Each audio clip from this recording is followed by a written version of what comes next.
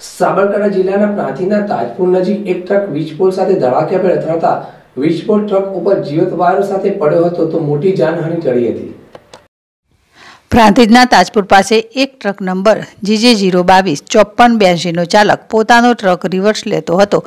તે દરમિયાન પાછળ રહેલ કરોલ એજી ફીડરનો અગિયાર કેવીનો વીજપોલ સાથે ધડાકાભેર અથડાયો હતો અને વીજપોલ વાયરો સાથે ટ્રક ઉપર પડ્યો હતો. તો ટ્રકમાં સવાર ચાર લોકોનો આબાદ બચાવ થયો હતો.